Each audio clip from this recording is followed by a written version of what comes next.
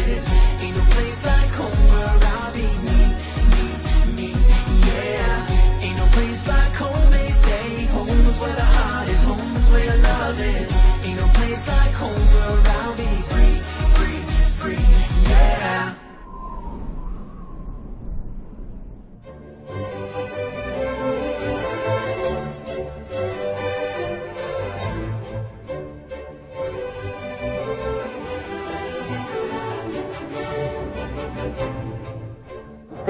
Tukar duit dulu, Ming.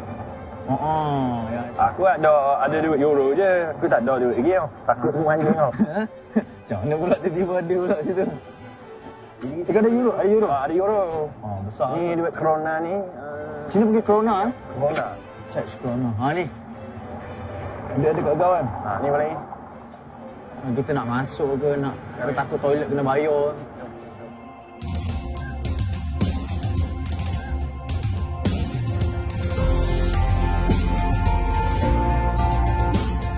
Macam mana pengalaman suasana duduk dekat church? Cek ni memang cantik kan? Oh, tu lah. Ni kali pertama kau cek kan? Ni first time. Oh, kalau ikut pun saya pun first time mari cek. Walaupun asal dekat dengan area ni kan. Kawasan Tapi, ah, kawasan Europe kan. Tapi, first time lah mari cek. Ah, saya suka lah bandar dia kan. Tersusun, terancang. Ah, architecture dia lepas tu old town dia lah.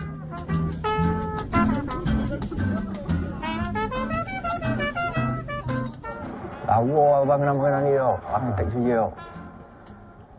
Dia kontras modern dengan kau lama. Hmm. Tapi kita pun tengok ada yang macam renovate lagi sikit kan. Ya. Oh, angin dia sejuk kan.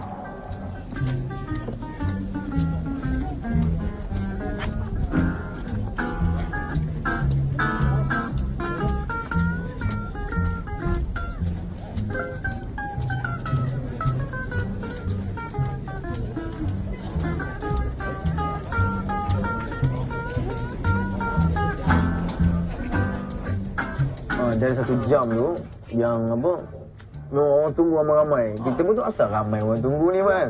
Tunggu tunggu tunggu tunggu punya lah ada terkeluar kan. Sejam sekali dia ada dia punya Ha, keluar lah makcik pakcik dia keluar sikit keluar masuk keluar masuk. Benda pun gitulah. Tapi mahal. Ah, menarik ah. Menarik. Ah, bukan senang nak cari macam benda yang dari dulu tapi dia orang maintain sampai hari ni. Itu cantik lah.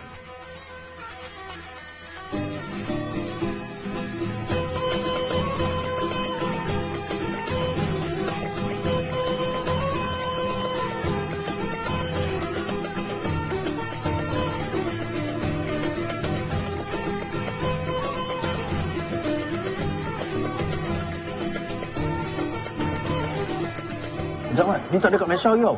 Selalu orang pakai corn kan, dia pakai roti. Kalau pandai buat ni, meletup ni. Dot, kita bawa balik ke Malaysia lah. Jual. Oh, kalau kita buat Malaysia ni kan, aiskrim Mak Dan Pure Amin. Oh, Kami sama sama dengan aku eh. kau suka aiskrim? Aku vanilla.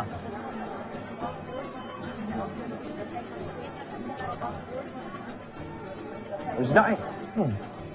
Kalau time panas lagi sedap. Hmm. Tu Ya. Dia dia tadi kan? Moti tu dia uli-uli-uli bakar.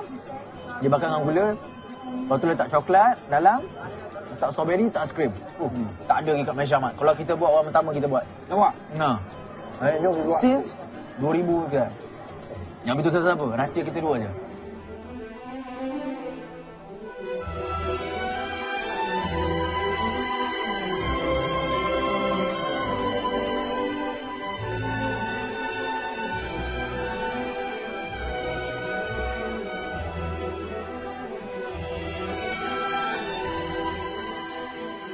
Charles Bridge. Ah, yes. Ya, weh, ramai Itu dia betul orang kan. apa ka- castle dia. Oh, kasut atas bukit Ha, tu. sebab kencang ni kalau kita tengok Ahmad kan. Ha, kalau kita tengok dia ni antara pemerintah yang yang lama lah dekat church ni.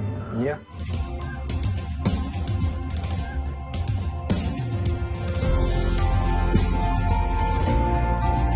Tu. Ah, makan dulu ke? Ah, tu Ah, orang kata kita isi perut dulu lah. Tapi dia kalau Yalah macam sebelum ni kalau kita pergi mana-mana Europe punya negara Turkish punya makanan macam ada kan? Ha, ni kena cekik lah. Eh? Ha, paling saya lemak. Saya kena cekik lah. Dia halal dia yakin juga. Ha, ni Istanbul kebab. Ha, ni mesti halal lah. Ha, okey. Dah. Jom. Hmm. Sudah. Makan apa? Makan nasi? Hmm, makan nasi. Rice? Rice with this. This is what? Huh? Okay, okay dah.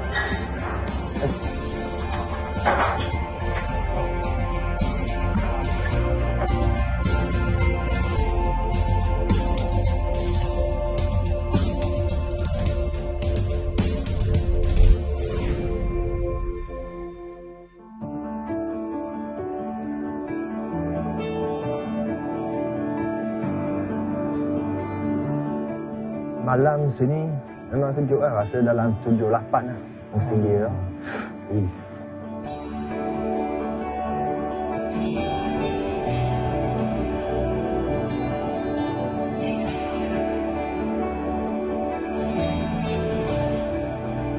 Ah, check, check in lah.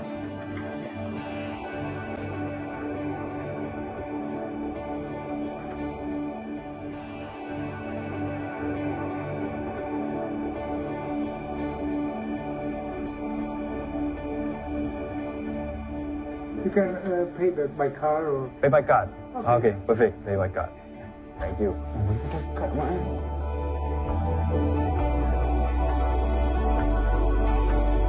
Yeah, sure. Begin button. Okay, satu. Okay, so you are Okay. Receipt. Okay, room 212. Second floor. Okay, thank you. Thank you. Okay, thank you.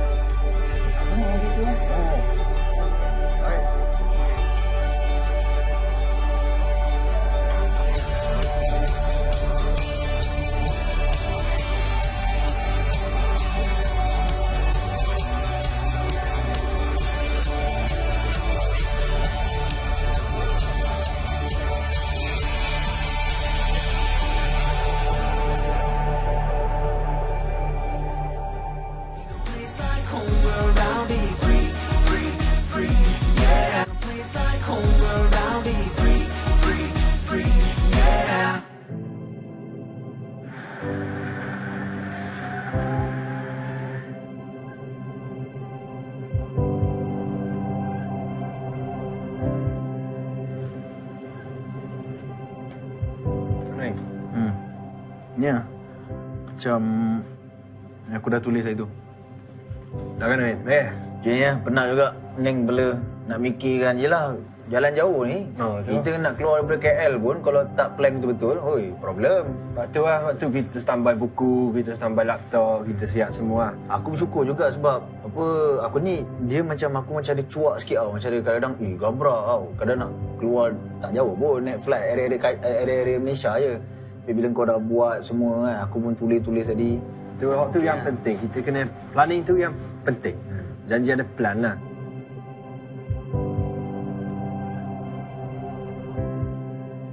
Eh, sekarang ni uh, apa aku ada hubung dengan Simply Umrah lah. Simply Umrah ni dalam note ni aku dah tulis dah Oh, agensi tu yang akan uruskan kita kat Ah, so, maknanya Simply sampai Umrah. kat situ dia akan jaga kau kita lah.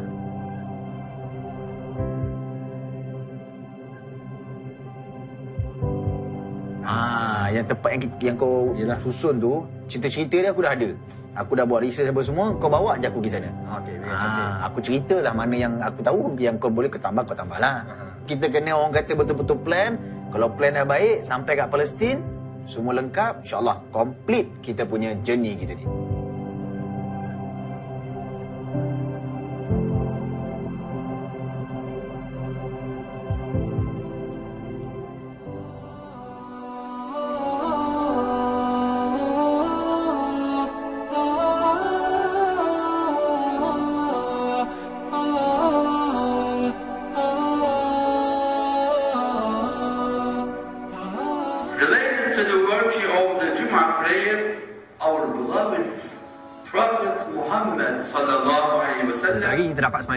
Sini. Ha, itu yang special lah. Kita pun pergi kat masjid tadi tu. Kita dah semayang apa semua dapat tengok suasana walaupun Yalah, kan kecil. Oh, kecil je tapi ramai juga kan. ramai. Pack eh dalam. And then lepas habis tu tadi pun aku pun bawa lah kau jumpa dengan kawan aku tadi tu. Ah, apa nama kawan? Raid. Raid. Ah, Raid. Lepas tu ada kawan dia Omar. Lepas tu yang lain-lain tu tak berapa nak ingat lah. Ada yang daripada Palestin, ada daripada uh, church sendiri. Jadi ni pun cerita lah dekat kita kan uh, tentang uh, komuniti Islam kat situ.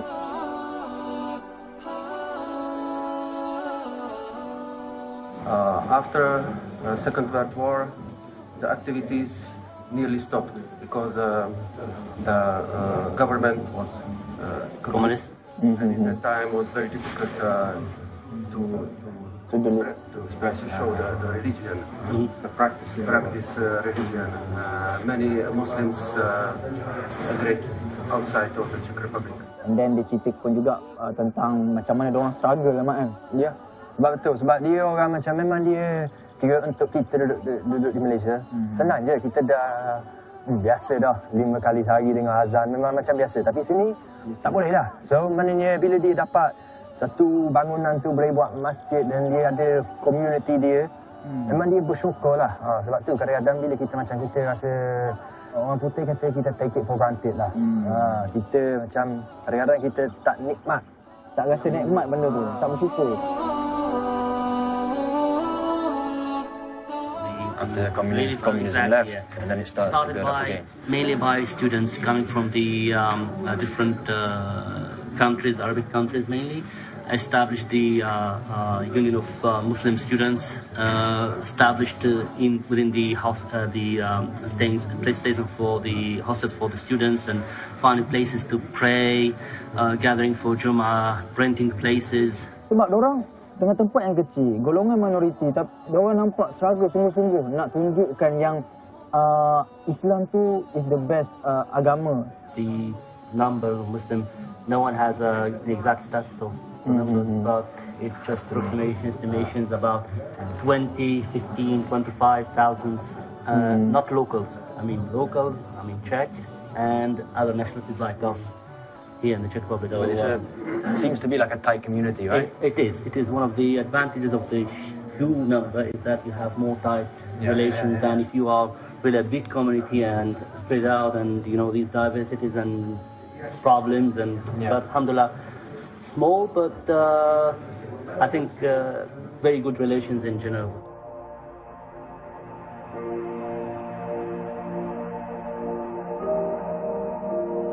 Yelah macam diorang cerita tadi kan, uh, media, apa Ah. Mat? Uh, media-media. uh, social media dan sekarang ni dengan TV semua. So macam dulu, uh, macam kan saya tanya dia pasal Islamophobia, tentang Islamophobia dekat sini. Dia kata memang ada. Uh, sejak macam sejak 10 tahun lepas memang dia makin naik lah. Sampai ada orang kena apa abuse ke apa. Tapi dia kata Alhamdulillah tak ada teruk sangat dan sebenarnya kalau dia orang pandai guna benda tu dia boleh tunjuk Islam yang terbaik, Islam yang sebenarnya. Betul. Ha. Would you say Islamophobia? Yeah. You you feel it more here, or Yes, for sure. It's so everywhere. daily daily life here is It is. It is. It's, uh, you, you could feel it for, for, mainly in, in the media, in the social media, uh, comments and like everywhere, maybe not a bit more here in the Czech Republic. But in the daily life, uh, we had almost no issues before that. Like, Alhamdulillah, there were no um, uh, no violence against Muslims. Um, rarely that happened or would have a racist, you know, background or but in the past couple of years, two, three years, you could see more attacks, but not that, alhamdulillah, that, you know, violence or uh, we had a couple of cases uh, where especially women, because it's obvious that Muslims with the hijab and they would have, you know, been insulted word, verbally or, you know, some physical attacks, but not that, alhamdulillah, saying that, you know, in a massive or that spread out. Dalam keadaan macam ni dia nak kena tunjuk dekat media, dia nak kena tunjuk dekat semua orang-orang yang yalah 90% etis kat sini Mat kan yang tak percaya pada Tuhan. So kat sini pun kita sebagai orang Islam, kita tak boleh nak buat suka-suka hati kita. Tunjukkan yang agama tu baik kan kan. We're facing the whole media, as it was TV, radio, internet, and so on. Dealing with people, trying to be nice to them, presenting the Islamic behavior. Okay, so this is the main issue, and I think that we are going in a good, good way to follow the good path. yeah, it's true what you say. You need to start with the younger generation. Uh, kita tunjukkan senyum dengan orang. Itu benda-benda yang simple yang Itulah benda yang simple tapi sebenarnya itu tanggungjawab kita sebagai orang Islam. Hmm, itu yang kita boleh dapat dan kita boleh rasa lah kan bila kita sampai dekat Bandar Perak Church ni.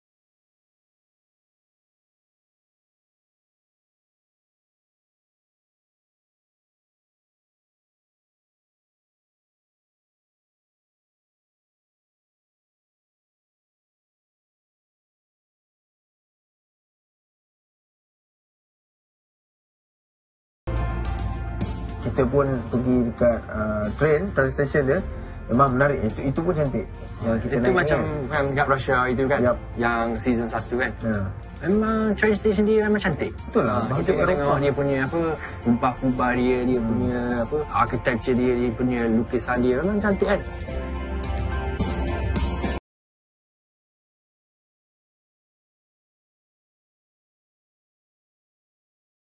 Sebab kalau memang kalau kita tengok kat mana-mana train Europe lah pengalaman lah aku tak berapa banyak sangat pergi tapi kalau kita kat Russia apa semua tu memang dia bila orang sampai orang tak bosan lah. Ya. Ya, architecture tu menarik.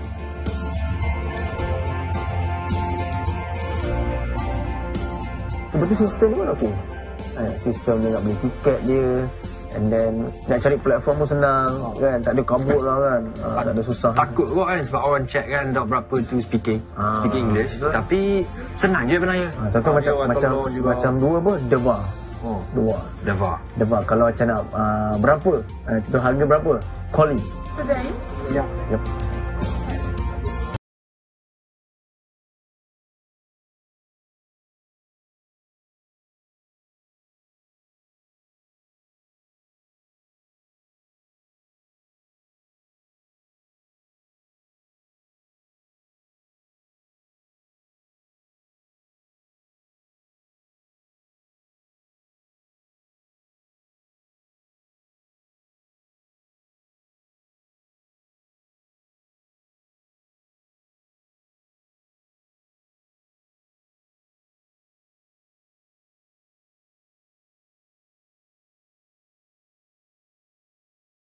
Ya, kita dah naik train ni uh, 3 jam untuk jalan ke Berlin. Ya. Ah.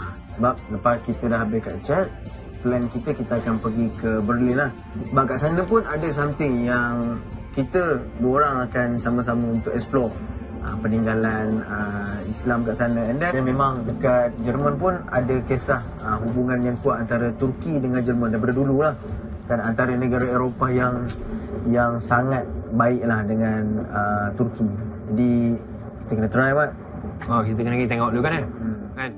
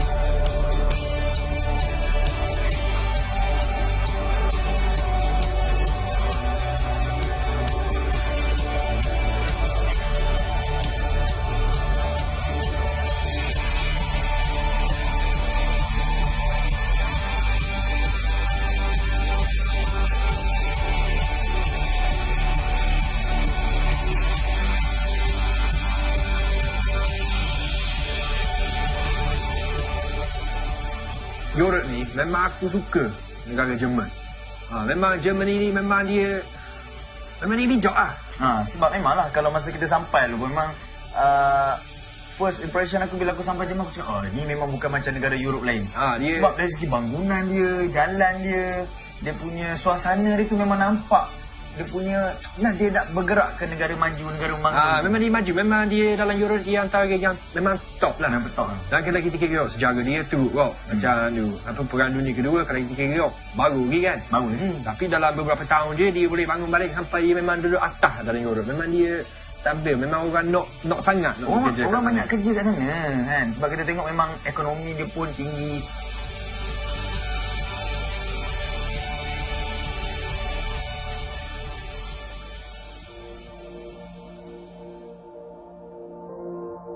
Kita pergi juga dekat apa ni yang kau cakap ni kena berhenti ni Min. Berlin Wall. War ni dulu memang dia belah dua lah Berlin. Oh itu itulah kalau dalam sejarah. Memang kau pun cakap kan uh, Berlin Wall ni dia meng, apa, membezakan ataupun dia buat satu ni lah uh, batas antara Jerman Barat dengan Jerman Timur. Ah, Itu maknanya- cerita dia tu. Ah, maknanya Jerman Timur ni zaman tu dia komunis.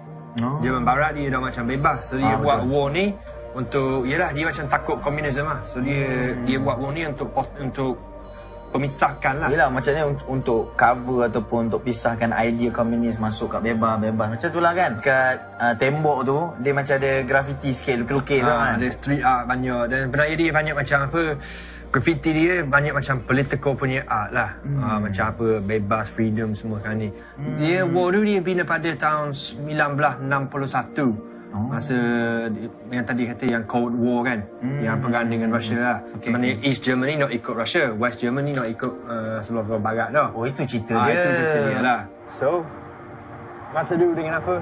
Dengan macam nuclear punya war. So Dia orang sangat Sangat Takut lah.